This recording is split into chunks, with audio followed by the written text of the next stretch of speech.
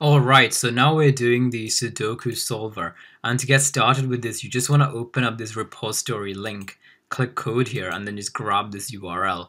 And then in Replit, just click the plus button in the top right corner, import from GitHub, and whoops, you just want to paste it into here, um, right there, and then click import from GitHub. And what that will do is it will download this repo and all of this code, and it will generate a Replit project for us.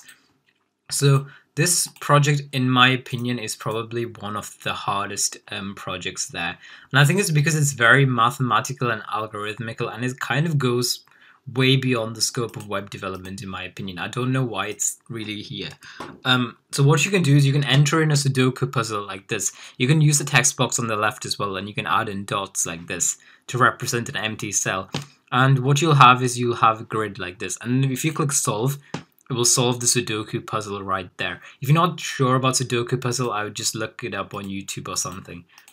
But they're popular, so you'll probably know them. Um, what you can also do is you can change the inputs in here, and then that will change in the text box. Um, for some reason, you should be able to change the input in the text box and change it here, but that doesn't work. Um, yeah, once this is ready, by the way, you just want to run npm install here. And that will start installing the um, project for us. Unlike Glitch, I don't think it does it automatically. So yeah, that doesn't seem it doesn't seem to work the other way around. But yeah, you can essentially enter in um, Sudoku puzzles. It says that it doesn't work for all of them, but um, it will work for a specific number of puzzles that they've specified at least. And then you can press the clear button to clear it. Um, it's it, again, I don't think it's really related to web development or Express or anything. So but we're to do it anyway. Um, so in this, what we have is in public, we have puzzle strings, which contains um, a bunch of puzzles in the form of these strings. And remember the empty, the empty cells are represented by these dots. And then uh, we have the solutions that we should check them against. Um, style.css is just a style sheet, so I wouldn't worry about that. Um, Sudoku solver.js is a JavaScript file that's been attached to index.html. And this is a client-side JavaScript file, and we're going to be writing all our code in here. So this is a completely client-side app. I don't even know why it's in the form of an Express app because everything is just done on this script. Um, routes FCC testing, don't worry about that. Tests have not been implemented for this. Um, and then in tests, we have to complete um, six unit tests right here and then four functional tests right here.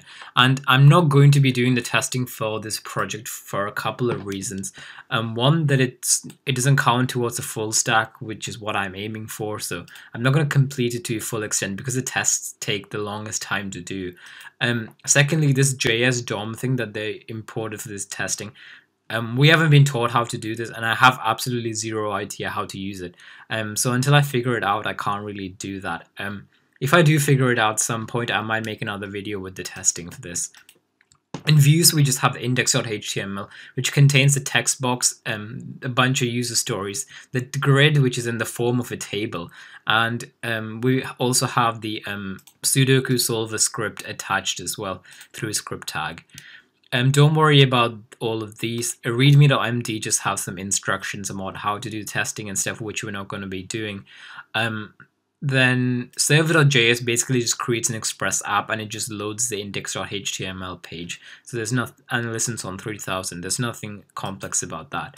So once you have everything ready, if you just click this uh, run button right here, what it will do is it will run npm install again, but this should be quite quick now that we've um, already done the installation. And then what we'll get is we'll basically get um, the live app link that, that we can then submit. So just wait for that to start up.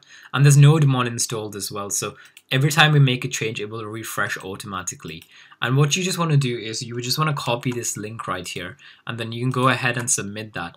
And if you submit it, you'll see that there's zero testing whatsoever. So you could just go and submit that right now. But we're going to do it properly and we're going to build this properly. So now that we have our project running, we are ready to get started. Right, so the first test says that um, I can enter a Sudoku puzzle by filling in the text area, which is this um, text box right here, um, with a number or a period to represent an empty cell. So what we essentially want to do is set up a listener for this input changing in here. And we just want to capture all of these inputs. And the way to um, firstly select this text box is if you just um, click it with developer tools, we can see that we have an ID of text dash input and we can use that to make a selection. So the first thing you want to do is remember that we're doing all our work in Sudoku solver.js. So after we've um, opened the document, remember this just loads that um, default value into the text box. What we want to do is first make a selection. So I'll say let text box equals, and then we can just use a document, um, oops, document, if I can spell document dot query selector to do this. And the query we're going for is, remember that we have an ID and then we can just paste in the ID right there. So we have our text box now. The next thing to do is create a function to run when the input changes. And I'm just going to call this function text box changed like this. And this is, I'm just going to leave this as an empty function for now. Actually, what we'll do is in this function, um, we'll basically take out all the numbers from this input. So what I'm just going to do is I'm going to say let uh, text box values um, equals, and then what I can do is in the text box, um, I can access, I can use the value fields to access the content inside it, which is a string, remember. And then I can call the string split method and I can give an empty string here. And what an empty string method does when splitting is it basically splits each character. And remember that this produces an array which we've assigned to this text box values. And I'm just going to log this for now. And the final thing I'm going to do is attach um, this function as um, to run when the input of this text box changes. So the way we can do that is we can say text box dot um, and I think it's on input is the listener and we can just assign this text box changed function right here. And since we have nodemon remember that it automatically restarts and when it says listening on port undefined that means the changes have been applied. So if I just refresh this now and then we look in the console and I change the inputs of this right here. We can see that each time we make an input um, we have we calculate an array with all the different values right there. And we can start using this to form a Sudoku puzzle. So that's basically test one completed right there. So test number two says that when a valid number is entered into the text area, the same number is applied to the correct cell of the grid. So remember that we have this grid right here and whatever numbers we go into here, we want to make sure that the 81 characters in this are translated to these 81 squares in the grid. So it's like 9 by 9 M grid right there. And also we have 9 little squares with 9 squares each. I don't know why I'm saying that, that's not really relevant. Um, you might be wondering how we can make a selection of all these grids. And the easiest way to do this is make a selection of all these cells in a way that we have 81 cells and then we can just use the same index to translate these across. And if you um, select these cells, you can see that each of these inputs have a class of Sudoku input, and that's the easiest way to select these cells. So what I'm going to do is in here, um, I'm gonna, after the text box, I'm gonna say let cells equals, and we can use document.query selector again, but we're gonna use query selector all, because query selector returns the first match um, of our query, but query selector all returns an array of all matches, and we want the class to be equal to sudoku-input. So what this will do is it will get an array of all these cells.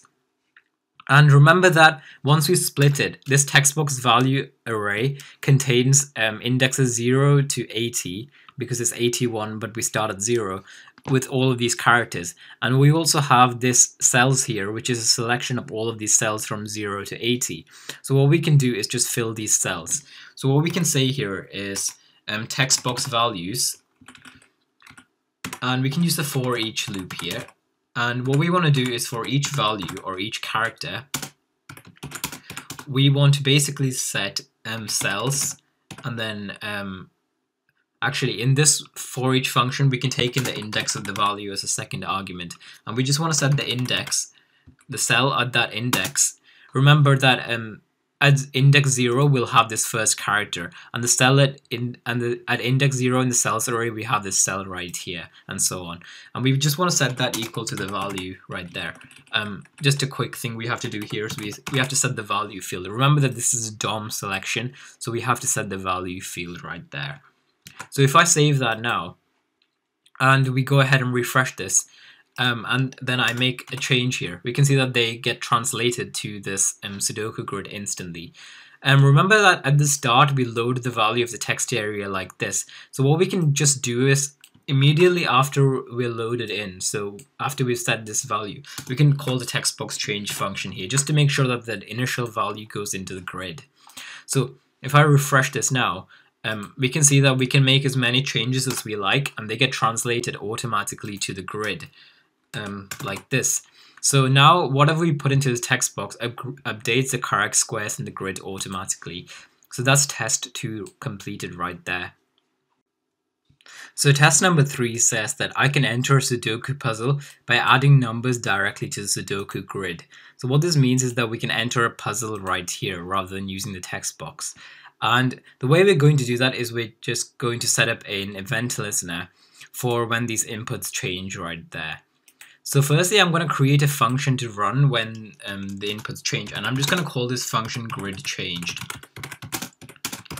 For some reason, um, because this keeps auto restarting, and um, it's really slow whenever I start typing. I don't know why. And then the next thing we want to do is make sure that we attach um, this grid changed as an on input event listener for each of these cells.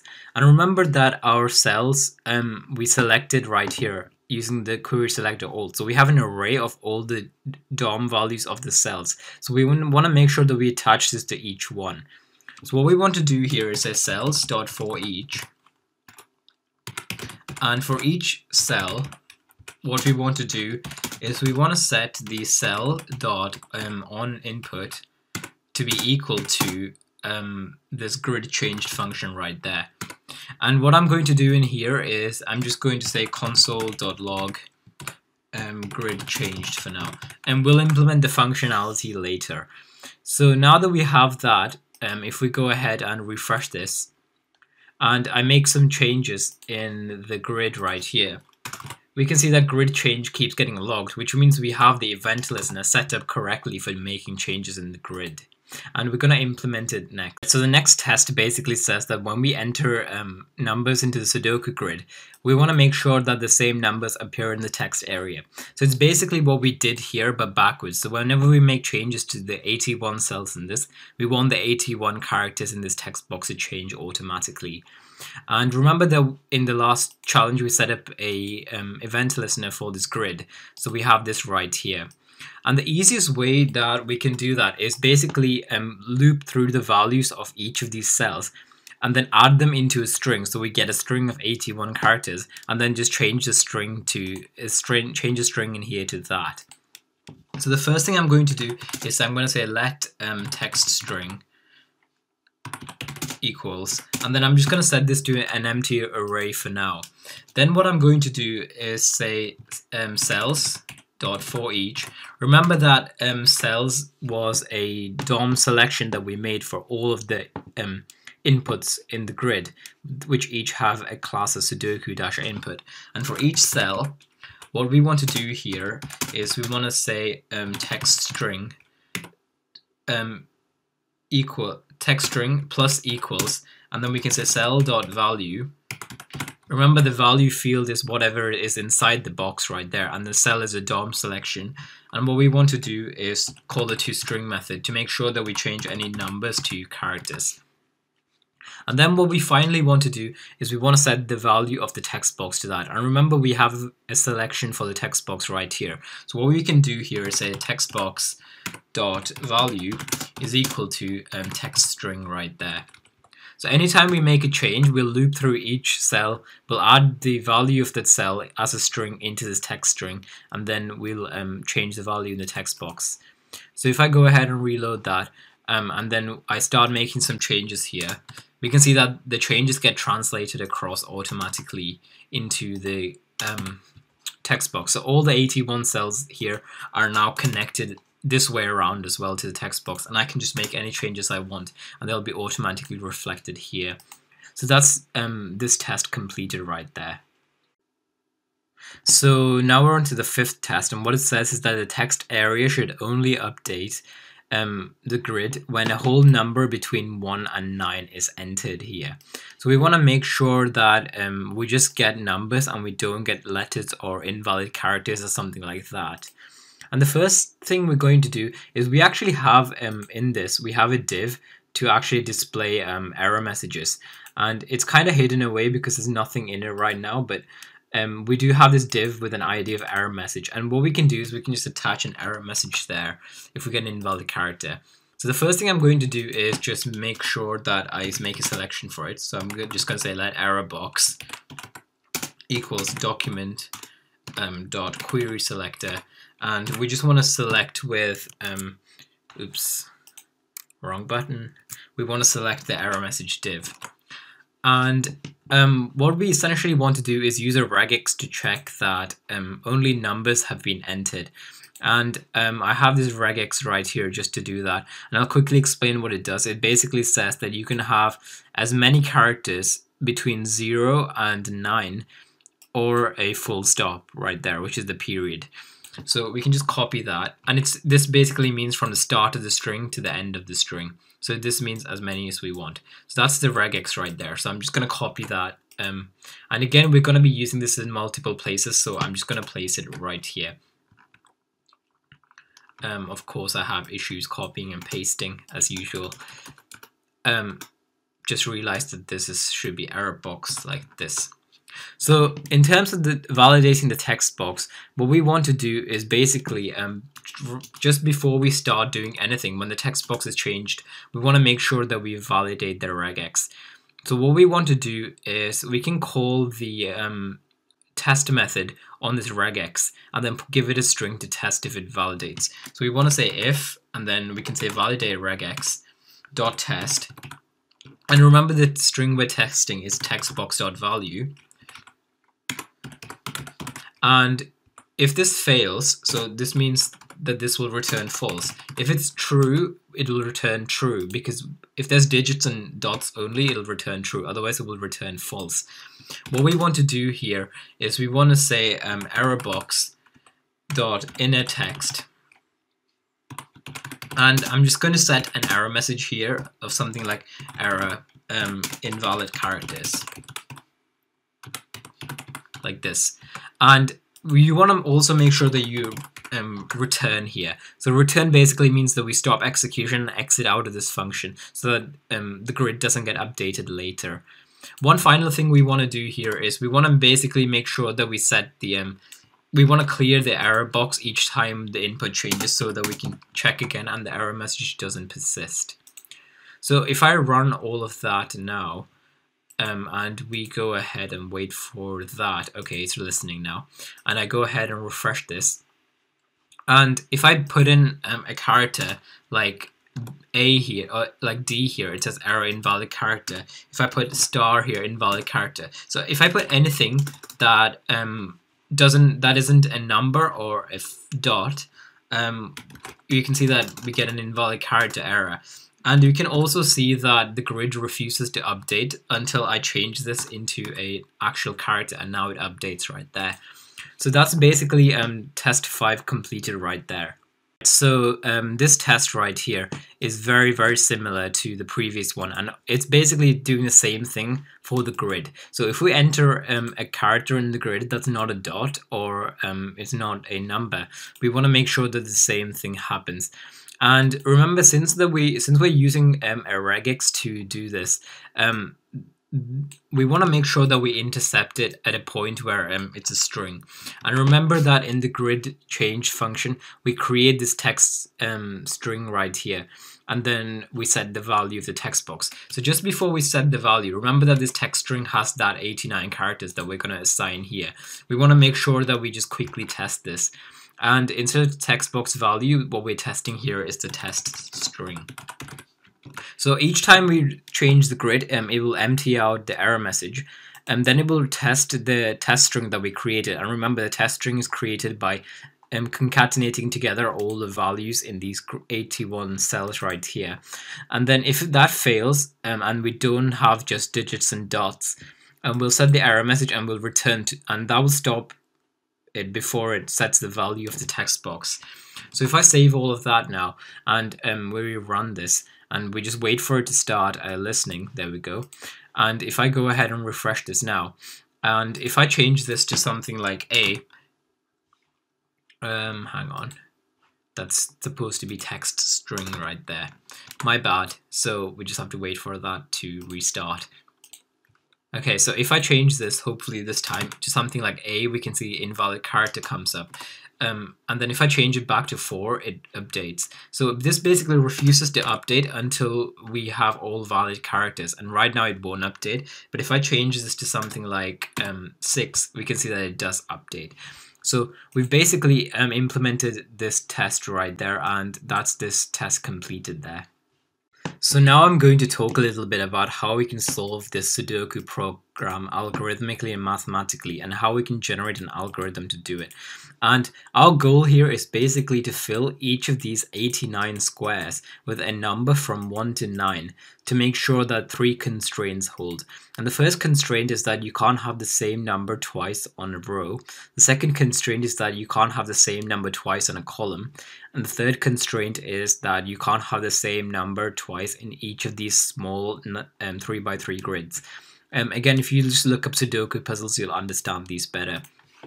And basically what we're going to be doing is going through each of these squares and at each square we have a choice between um, nine numbers. So we can choose a number between 1 and 9 and what I'm going to do is kind of use this diagram I've drawn. I did draw it with a mouse so you'll have to explain you'll have to um, excuse the text. Um, and I'll try and explain it if it doesn't help you fair enough um, I think it I always like to see things with a diagram to tr try and understand it so one way we can do this is that remember that at each square we have a choice between um, 1 to 9 numbers. This is actually, this shows 3 branches but we actually have 9 little branches here. And then we have square 2 which has 9 choices and so on and so on. And um, one way we can do this is we can basically go through each root in the tree to get to all of the end leaf branches right here. And we can basically check each of those solutions to see if all the constraints hold. And to do this, we'd have to generate um, 9 to the power of 81 solutions and then check all of those individually, which will take a long amount of time. Um, the way we're going to actually do this is by using a recursive algorithm with backtracking and we'll be checking as we go along. So what we'll do is um, at each square, um, if the square is not empty, so if there's already a number inside the square, we can just skip and move to the next square like this. Otherwise, what we do is we'll try with the first choice. So we'll try putting 1 in. So we'll place one. And before we place it, we make sure that we check if it's okay to place. So we make sure that one doesn't already exist in this row, column, or the little square right here. And if it's okay to place, we'll place it. And then what we'll do is we'll continue to, we'll move on to square two, and then we'll run the algorithm from there. And then we'll place um, the first number and so on and so on and we'll basically it'll run recursively through each of these squares and it will basically check if we get to a solution and if at some point um, we we don't get to a solution, um, which means that we can't place any of the nine numbers because they'll all cause a conflict, what we'll do is we'll basically backtrack to the previous step. So for example here, we'll place one here and then we'll place one here. And then if we figure out that if we were to place one here, we can't figure out a solution here. This would be impossible anyway, by the way, because we can't place one in two adjacent squares we'll basically come back here and then we'll try with 2 and then try all the roots with 2 and each time um, we know that it's not possible to place a certain number and we can't get any solutions we'll try the next number. So we'll try here 1 2 3 4 all the way up to 9 and if we can't get any solutions with any of these numbers from here onwards we know that in the previous step we made the wrong choice. We'll come back here try with 2 and then so on. So at each choice we have we check if it's okay to place. If it's okay, if it's not okay to place, we try the next number. If it is okay to place, we'll place it, and move on to the next square and run the algorithm from there. And check if at some point we return a solution. Since this is running recursively, remember, we'll always get the solution return, return, return, all the way up to wherever we started it. And if we get a solution at some point here, so if everything is okay, we'll just return that solution. And if we don't get a solution, what we'll do is we'll retract our choice and then we'll try it with the next number. And we have a couple of stopping conditions here. So the first condition is if we manage to reach all the way to the 82nd square, um, we know that um, all of all of them are valid, and we know that we have a complete solution, so we can get that um, solution returned. The alternative um, stopping solution is when we reach when we try all um, 9 to the power of 81 roots right here and we don't get any valid solutions. We know that there's no solution, so we can just um, return false or something like that.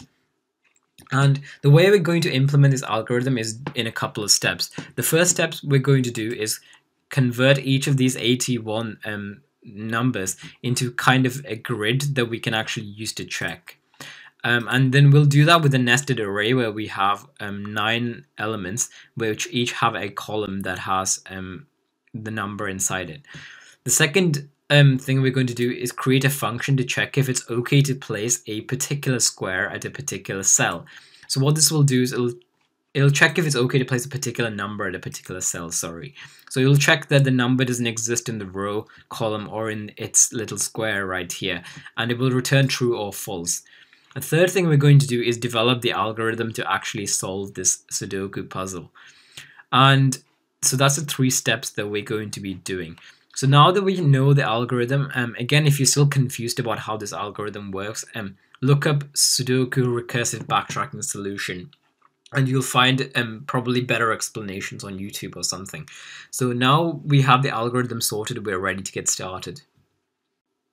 So the very first thing that we're going to do is basically just add an um, event listener to the solve button so we can start solving um, when the button is pressed. So the first thing we want to do is just make a selection for this and this has um, conveniently got an ID of solve button that we can use for this. So what I'm going to do is um, up here, I'll just say um, let solve button equals, and then once again we can use the good old query selector here, and then we can just select it using its ID. So that's option there. There we go. So solve button. So we have that now. And what I'm going to do is set up an event listener. I'm just going to minimize these. So what I'm going to do here is say let um, solve button pressed like this. And this is just going to be an event listener. And all it's going to do right now is just say console.log um, solve button pressed. And then I just want to attach this function um, to the on click of the button. So what I'm going to do here is say solve button dot on click equals and solve button pressed. And then what we'll do is we'll fill in our functions here. We'll do, um, then we'll run the algorithm in this and then display the result when this button gets pressed. So I'm just going to run this now. Um, run this again. And then if I go ahead and reload this page, and then we click on solve, we can see a solve button pressed comes up. So we successfully attached um, an event listener for this. So the next step to do is to capture this um, these numbers into a grid-like structure. And remember to do this, we're going to be using a nested array where we have a row for each um, row here. Sorry, an element for each row. And then inside these elements, it's going to be an array of all the column values like this. And I'm going to be creating a function to do this called um, generate board. So I'm just going to declare it here. So I'll say let um, generate board and what this will do is it will take in an array of values. And so this is going to be um, 0 to 81 uh, values. And it's going to return back a nested array for this. And the first thing we want to do is declare the board. And the board is just going to be a nested array. So I'll say let board equals and uh, I'm just going to put in this these empty arrays for now just to start off with.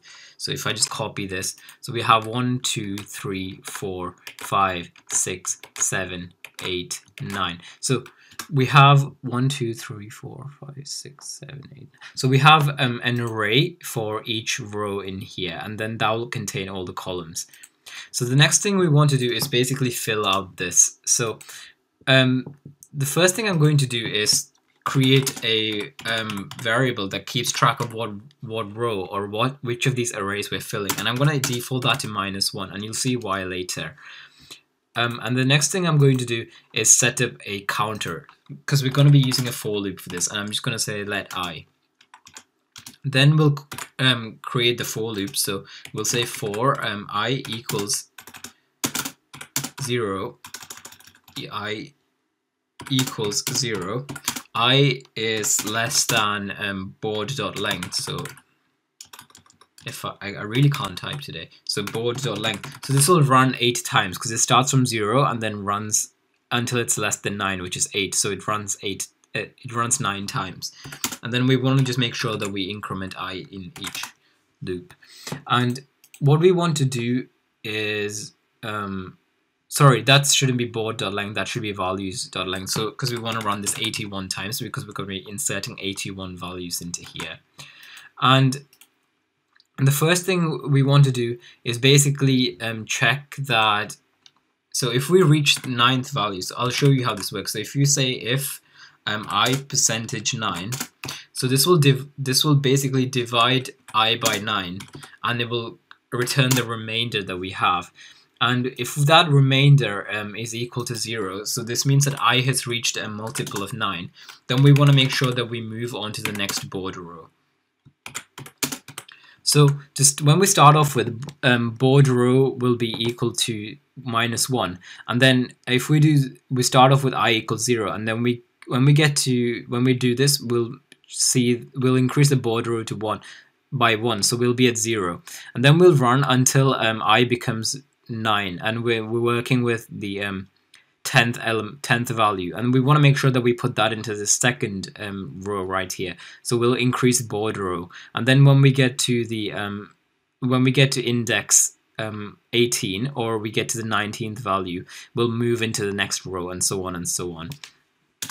And then what we want to do is basically just um, say um, board so that that's this big array right here. And then we want to access this smaller array, which is at board row. And remember that we start with index board row 0, which is the first row, then second row, third row. And then we want to say at, um, what we want to do here is we want to basically push to this array. And we want to basically push um, the ith element from the values array and you'll see how all of this works in a second. And then at the end of this um, what we just want to do is just to return our board. Like this. So um, then what we want to do is basically um, if if we want to think about where we'll get these 81 values from, remember that we have this um, text box value right here, which is a string, and we can just split it to get the 81 values. So what what we can do here is we can just um, in the uh, button pressed instead of logging this what I can do is we can say text box values equals and then we can split the text box's value um, using the string split method to get an array of all the 81 characters in here. And then what we can do is we can create a board with this. So I'm just going to call this original board and we can call the generate board method and then we can give it the text box values.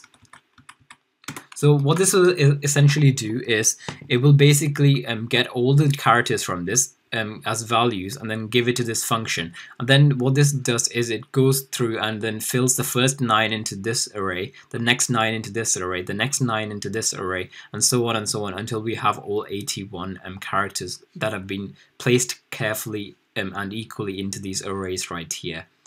And what I'm going to do after this is just console log the original board just to make sure that we got the nested array created successfully.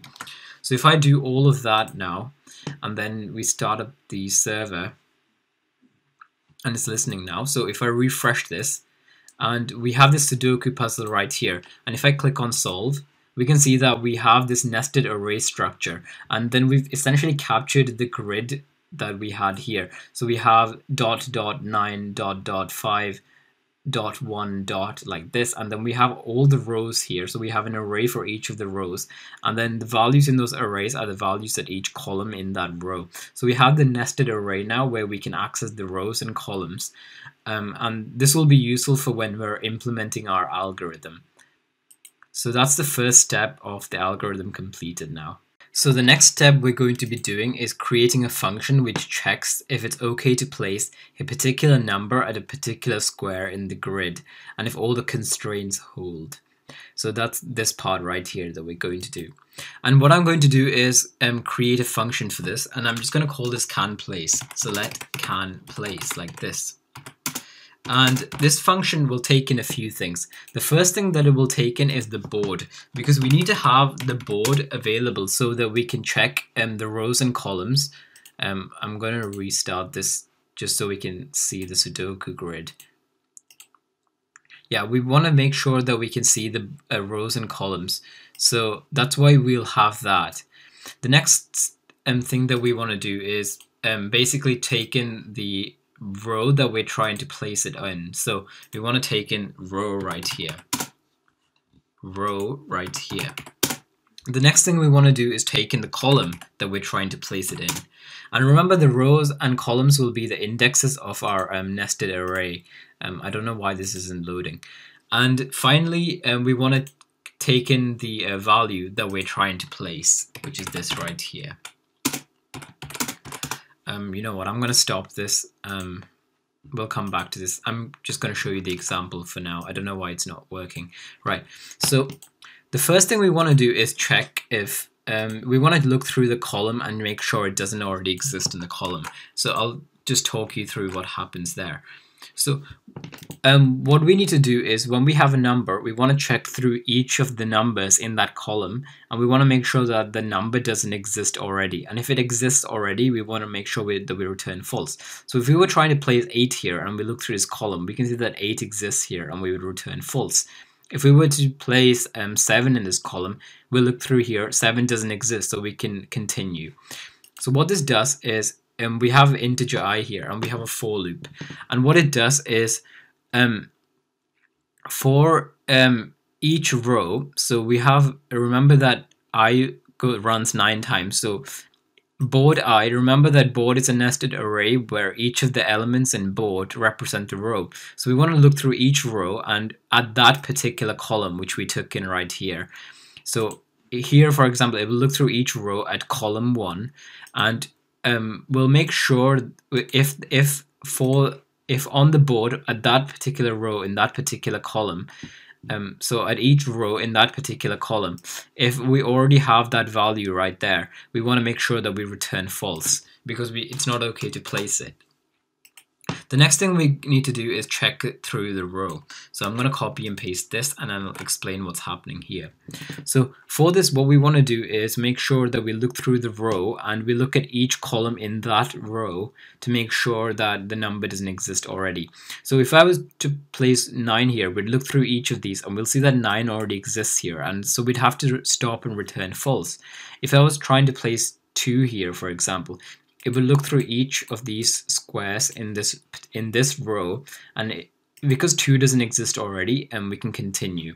So what this does is we have integer j to run a for loop and again this runs nine times because we have nine columns to check in that row.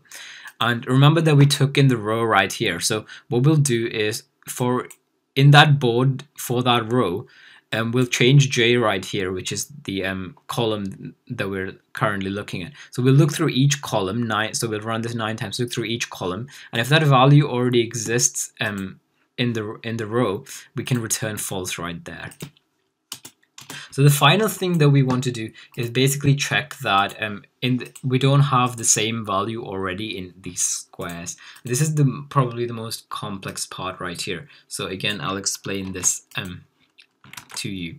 So the first thing we want to do is basically figure out um, where the where the um the top left part of that box is so then we can look through it three times both ways.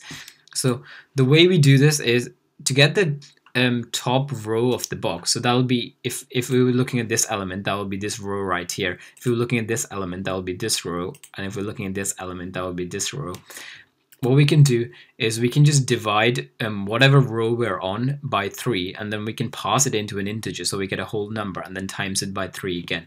So for example, um, this will, by the way, this will return either um, index 0, which is the first row, um, index 3, which is this um, fourth row, or index 6, which is this seventh row right here. Remember, we're looking at the top row of the square. So if we were on row 2, for example, what we do is we would say 2 divided by 3, which is 0 point something. And then if we parse int, we just return the 0 part. Then we times it by 3, we have row 0.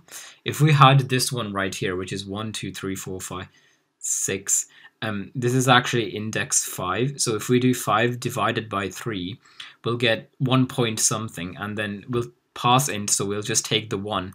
And then we times it by 3 again, we get 1 times 3. So we're looking at um, index 3 or row 4 right here.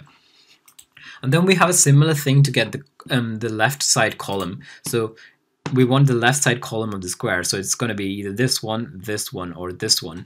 And so what we do again is we divide the column by 3, pass it into an integer, and times it by 3 again. And this will return either column uh, at index 0, which is this, or column 1. It would return the column at index um, 3, which is this, or um, column 4. And this will, it will return the index um, it will return the column at index 6 or column 7 right here. So it will return either one of these three because these are the columns that are on the left of these big squares.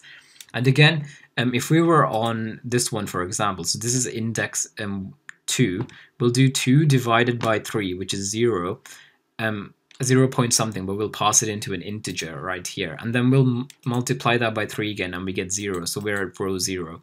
If we were on this one right here, what we'll do is this is column at index 8 so we'll do 8 divided by 3 which is 2 point something. And then we'll pass that into an integer which will get 2 and then we'll do 2 times 3 and we'll get to index 6 which is this right here which is the left side column of that. So we have the um, the top row and the left column of the square. Then what we'll do is we have um, integer k which looks through the rows and integer l which looks through the columns.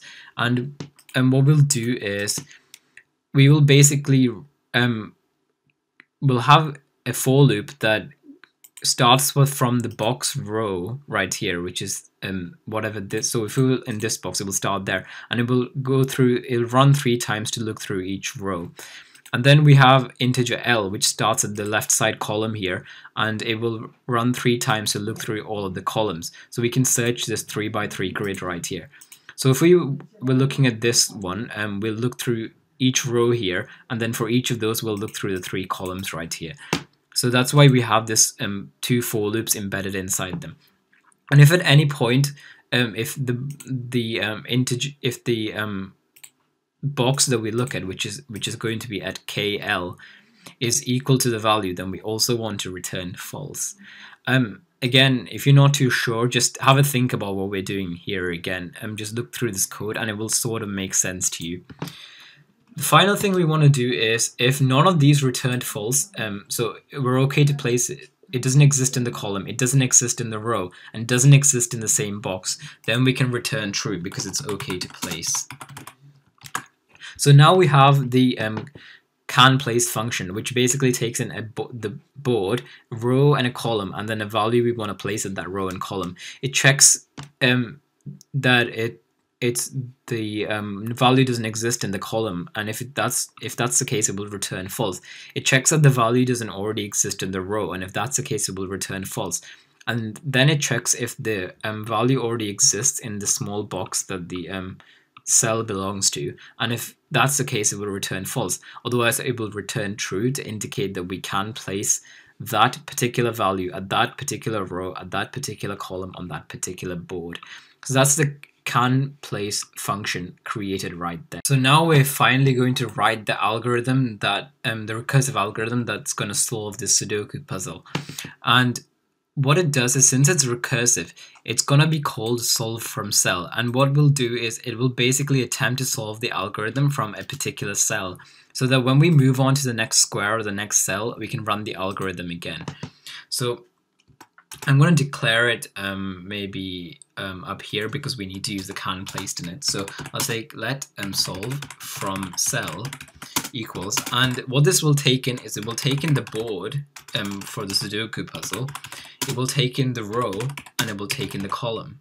And then it will attempt to solve from whatever cell is at that row and that at that column. And it's if if it find, finds a solution, it will return the board. So it'll work with this board and it will return it. If if it doesn't find a solution, it will return false.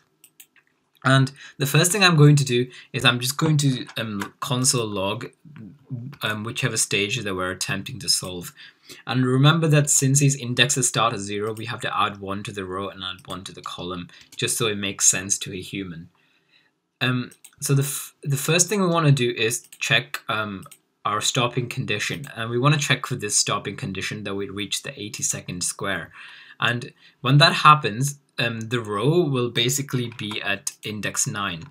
Remember that we'll be looking through these um, nine rows right here, and this is index 0 and this is index um, um, 8. So basically um, each so we'll look through each of these squares and then remember that when we reach this square this will the row will be here and so on and so on.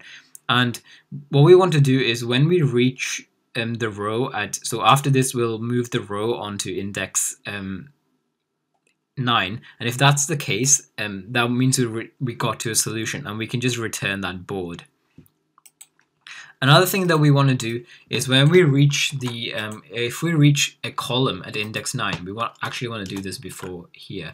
So if we reach a column at index 9, so we'll look through the columns from 0, 1, 2, 3, 4, all the way to column 8. And if we reach, if the column counter reaches 9, and we want to make sure that we move on to the next row.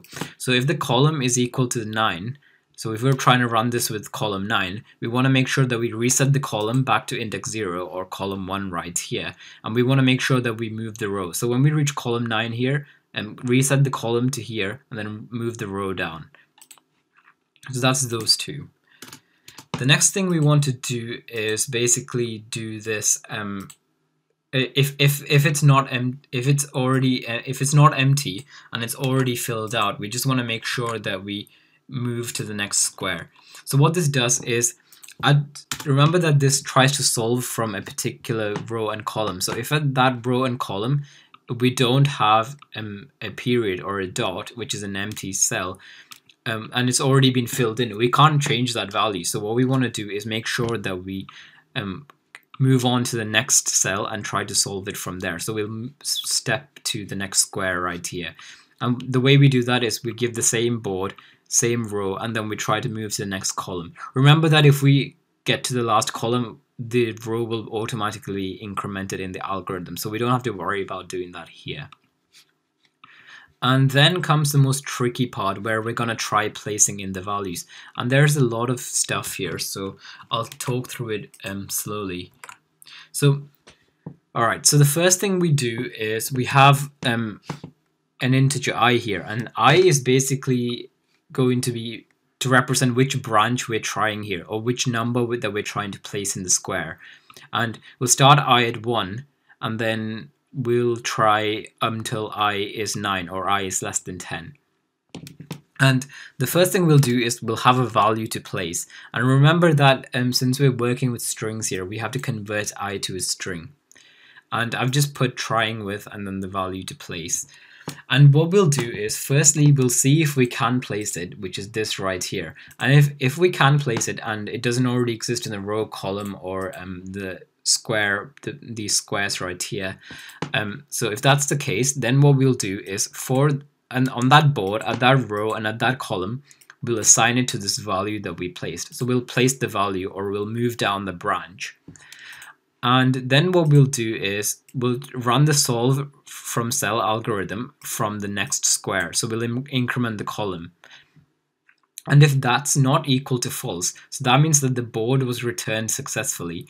Um, and we'll have that board available. We can just return the board.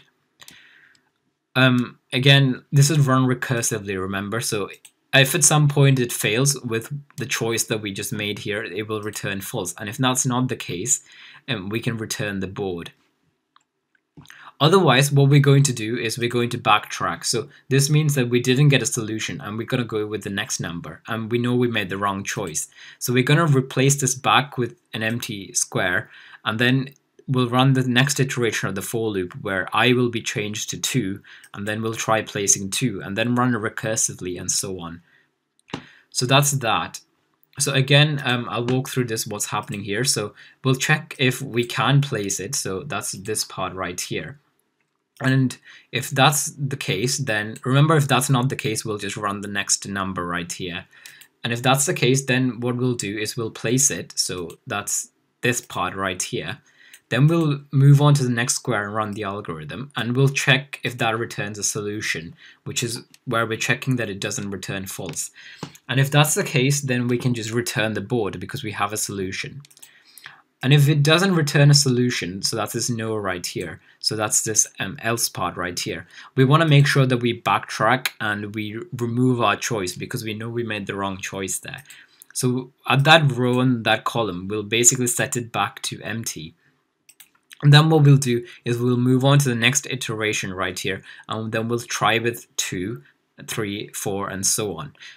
And finally, um, what we have to do is, uh, if we didn't find a solution, we want to just make sure that we return false. So once this for loop is finished completely in the first iteration of the algorithm, so if we run this from 0, 0, and this, this big for loop finishes right here, we know that we've explored all um, 9 to the power of 81 trees right here. And if that's the case, we just want to return false because we know that it's not possible to solve it. So one last time, I'll talk through this algorithm. So what this does is it tries to solve it for a particular board from a particular row and column. First, we log at what we're trying to solve. If we reach to column 9, so um, if we're at this column right here, um, we want to make sure that we set the column back to 0 and we increment the row. If we reach row 9, which means we're down here and we're at this row right here, um, so that's row 10 or the row at index 9, we want to we know that we've reached the solution, so we can just return the board. If the board is already filled out, so at that particular row and column, if if if it's not equal to this period which represents an empty cell, we want to make sure that, and it's already got a number in, we want to make sure that we um, move on to the next square and we run the algorithm from column plus one. So we move the column along. Again, we don't have to worry about moving to the next row because that's taken care of at the start of this algorithm right here. Um, after that, so if it is empty, what we'll do is we'll try placing each number from 1 to 10 and if we can place it, we'll place it. We'll run the recursive algorithm from the next square onwards. And if it doesn't return false, and that means we have a solution, we can return the board. Otherwise, what we'll do is we'll retract our choice. We'll set this back to an empty um, cell. Then we'll try with number two and so on and so on. And remember, this is recursively, so we'll get the solution, we'll have the solution returned bounce back each time. And finally, if we exhausted this for loop and we get back to the first choice right here and we tried all of these branches right here, um, we know that there isn't a solution and we'll return false. So that's basically the um, solve from cell algorithm that basically solves the Sudoku puzzle from any given cell or attempts to solve it at least and it will return the board if it's successful or return false if it's not successful. So one quick tweak that I want to just make here is um, when we, instead of returning the board, if if we find a solution, we can actually return this right here, which remember also returns the board. Um, this works because the board has, has been modified, but this is probably the safer bet to do it. And remember that if it isn't false, it would have returned a solution board anyway. So that's that. So the final thing we have to do is basically implement um, this for the solve button right here. And the way we can do that is in the solve button pressed after we've generated our board, what we can do is say let solution equals, and then what we can do is say um, solve from cell and we want to basically give it the original board that we generated, which remember was the nested array. And we want to try and solve that from row 0, column 0. So we want to try solving it from the first square. And this will run recursively and solve it out completely. And the first thing we want to do is basically check if the solution was false. So remember that it will either return the board if it was solved correctly, which is again a nested array, or it will return false. So what we want to do here is say if solution equals um, false. So this means that we didn't solve it. What we can do is basically um, change, we can basically show this in the um, error box right here. Um, again, you don't have to do this, but um, I'm just going to do it just to keep it safe. So right here, what we want to say is set the inner text of the error box and we just want to make sure that we set this to um, no solution and we can put a sad face or something. And another thing we want to do is make sure that each time we try and solve it, we just empty out the error box just to make sure that this uh, message doesn't persist. And what I'm just going to do here for now is say console.log um, solution, just so we can see what the solution looks like. Um, so if I run this now, and I go ahead and refresh this, and I'm going to just open up this developer tools so we can have a look at the solution. So I think the default one right here is a solvable puzzle. So if I click the solve button now, um, we can see that the algorithm is running and we do have a solution right here. And then the solution, remember, is again a board. So we have a nested array with an array for each row. And then each of each of the rows have the column. So this is the completed solution right here. So this is what we essentially want to make sure is outputted in this. And the way we can do that is basically iterate through each um, row here, through each column, grab the value, generate a string right here with the solution, put it into the box, and then call the text box change button to make sure that we put it into this grid right here as well. And if I were to change this puzzle to something like something that can't be solved, so if I maybe tweak a few of these numbers right here, I don't know if this will get a solution or not. Um, it might just, yeah, it's returned false. So this one is impossible to solve and we have false right here. And we can see that the no solution part is already working. So if the solution was false, we have no solution. We also want to make sure that we return here to prevent any further execution after this. So what we want to do is remember that we want to loop through, um, if it was solved successfully, we want to loop through um, each iteration. Um, of the puzzle, each iteration of the solution board. So the, the way we can do that is we can just do this with um, a nested array. And I'm going to copy and paste it because it would have take sorry, a nested for loop. So we have um, integer i, which looks through each row. So that's solution.length. Remember, solution is a nested array, and the length of it is the number of rows. Then we have um, integer j, which basically looks through so this will look through all the rows. This will look through each row at all the columns. And it will basically have this solution string right here. And then it'll add basically whatever value is in each cell to the string. And it will call to string just to make sure that we have it as a character. So if we were to just do console.log um, solution string now, and save that, and I'm going to just go ahead and um, yeah, I'm gonna go ahead and restart this. So if I restart this now and then I try and solve it, um, it will basically generate that um, nested array with our solution. And then it will look through each cell using this for loop. So we look through each row and each column. And then we add whatever is what the value at each um, element in the nested array to this solution string. And if we log it now we can see that we have the string with the solution right here so the final thing we want to do is basically set this inside the text box. And to do that, remember we can say text box um, dot value equals, and then we can set this to the solution string right here. And the final thing we want to do is call the text box change method, which basically updates the grid with the value in the text box. So if I do all of that now, and I reload this, and if we solve, click solve here, and then solve this puzzle, we can see that once it's been solved, um, it the solution is in this box and it's also in this um, Sudoku grid right here. So we've finally done it, guys. So we've actually solved, we've actually created um, the method now to solve um, Sudoku puzzles. So that's basically, um, that all of that work was for this one test right here that says I can solve an incomplete Sudoku puzzle. And we've populated um, the correct numbers in the text and in the text area and in the grid. So that's finally we've completed this test right here and we're ready to move on. Alright, so test 8 says that um, it's not expected to solve every puzzle, but you have to make it work for all the puzzle strings in the um, puzzle strings JS file. So what we want to do is just make sure that we tested each of these. So I'm just going to copy this. Excuse me paste it into here, and then just click solve. And we just have to roughly verify that um, those strings match. Yeah, and they seem to match. So that one seems to be working. So now we'll try the second one. Um, so I'll just paste that one in, solve it, and yeah, mm, 6943, 6943. All right, so then the, th then the third one. So this is why I said the testing is a bit pointless in this because you, you're testing it with what I should be working with anyway. So that's 8561, 8561.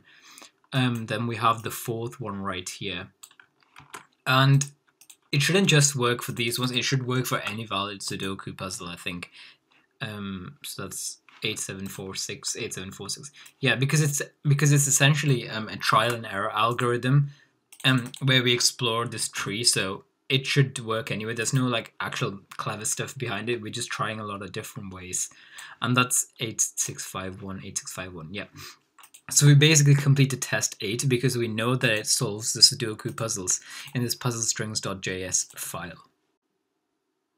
So test 9 says that if the puzzle is not 81 numbers, or 81 characters basically long, you have to basically put this error message into the div. So what I'm just going to do now is just copy this error message. And the way we can do that is basically check if the length of the string in this text box is 81 characters long. So the way we can do that is in the text box change function, after we tested that they only contain numbers, what we can say is if text box dot value and then we can say dot length here to get the length of the string is not equal to 81 then what we can say is error box dot inner text. And we just want to make sure that this is equal to the error message. So um, I'm just going to paste in the error message right there. We don't have to actually validate it for this because each of these inputs only accepts exactly um, one um, element. But what we can also do is just to make sure is in the uh, grid change method, just before we change the value in the text box, we can do the same thing here. So we can say, um, instead of text box or value, we can say a text string. And that's going to throw an error, so I need to correct that. All right, so if we just save that now, and then we go ahead and reload this, reload it again, Mm, okay, it was just being slow. Right, so if I were to change this now, we can see that it says error expected puzzle to be 81 characters long. Um, and then if I put something else in, it comes up. If I change this to an invalid character, that still works. And in here, the only way I can make it not 81 characters is by removing some of these, and it still says error expected. Um, one thing we can quickly need to do is make sure that we return to prevent um, further execution happening so we want to make sure that um, the values are not transferred across to the grid or the text box if they're not of the correct length. So if I reload it again, I have to keep trying until it decides to start. Um, and then I change it, we can see that it doesn't update until we have 81 characters. So yeah, so now it updates. So that's basically um, this test completed right there. So we're almost done now, and the final test, test 10, basically says that if we click this clear button right here, it'll clear this right here, and then we'll clear this grid. So what we first want to do is make a selection for this clear button. So to do this, we can conveniently use the um, ID of it, which is clear dash button. So, so what we want to do here is, um, after the solve button, I'm just going to say select um, clear button and I'm gonna use document query selector to get this. So document query selector, and we want to select the element that has the ID of clear dash button like this. Oops, there we go. So then what we want to do is basically attach a click listener to this and basically clear it. So I'm just gonna code in this function right here because it's quite small. So we want to say clear button dot on click equals. And what we want this function to do is first empty out the text input. So I can say text box dot and then value and then I can just set this to an empty string. Next thing I want to do is make sure I clear out all of these cells. So remember that cells is a query selector all array of the DOM selections of all these um, cell inputs which are these right here. And what we want to do is for each cell, we just want to set the value of the cell to an empty string like this. So if we save all of that and we wait for it to restart, if I refresh this now and I click on this clear button, Okay, so I just figured it out exactly why it wasn't working. And it's because instead of on click, I had on link here. So just my stupid mistake. If I save that now, it still comes up as green for some weird reason. But if I reload it now and um, I click the clear button, we can see that both the grid and the puzzle string here have been cleared. So that's basically test 10 completed. And we've completed all the tests um, for this project. Remember that I'm not going to be doing the testing. I might do them in a later video, but for now, I'm not going to do these. Um, so what I'm now going to do is just basically add some styling and stuff to make this look a bit nicer, and then I'll come back. Alright, so I've added some CSS styling now, and then in the index page, what I've done is I've removed most of the user stories and stuff like that, and I've just kept the um, table and the um, the box and I'm just organized them using a flexbox a little bit. And I also found out that Sudoku actually comes from Switzerland and not Japan, so I have this nice um, Switzerland background there. And it still works as expected. You can put in a, a string here and then click on solve and you can have the grid right here. Um, if you make changes in the grid, they automatically update in here. We still have error messages coming up right here. And they should be able to solve um, any Sudoku puzzle, so I've just used this um, website to generate a Sudoku puzzle for us, and I'm going to try doing this. This is apparently um, expert difficulty, so we'll see how it works. So if I paste that in now, click on solve, we can see that it gets solved. Um, if I mess about and change a few of these numbers here, it might not be solvable, and then if we click on that, um, we might have to try this again.